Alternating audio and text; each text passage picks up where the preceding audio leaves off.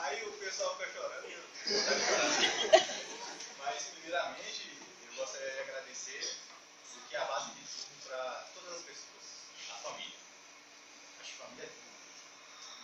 É, especialmente minha mãe, meu pai, as minhas tias e a tudo.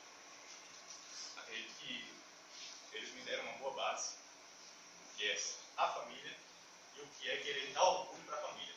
Eu estou aqui porque o meu objetivo é dar orgulho para minha família. Sempre foi. Nunca teve um, eu, nunca eu tive um outro ideal, nunca eu tive um outro objetivo.